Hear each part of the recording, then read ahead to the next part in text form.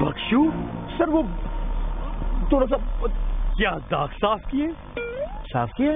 वाह वाह वाह यू नो प्रोफेशनल ये दीवार भी ऐसे साफ़ कर दो। हाँ हाँ। गुड हैं?